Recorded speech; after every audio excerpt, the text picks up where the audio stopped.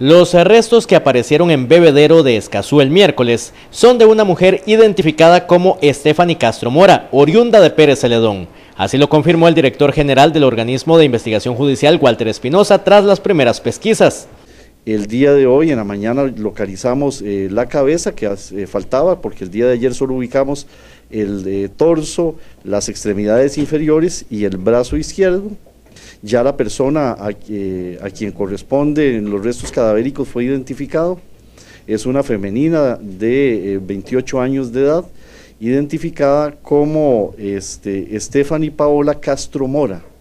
Ella era oriunda del sector sur del país, particularmente de Pérez Celedón, y en los últimos tiempos estaba residiendo en eh, el sector central de San José. En el brazo izquierdo la mujer tenía varios tatuajes que sirvieron para la identificación de los restos que aparecieron en un charral.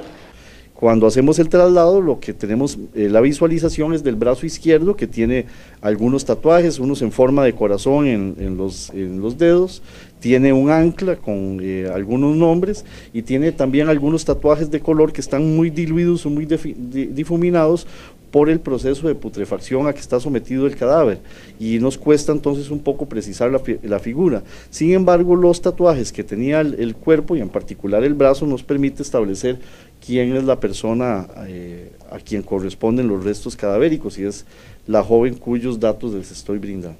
Uno de los elementos que comentó Espinosa es que la mujer había trabajado en una empresa de seguridad y que carecía de antecedentes criminales.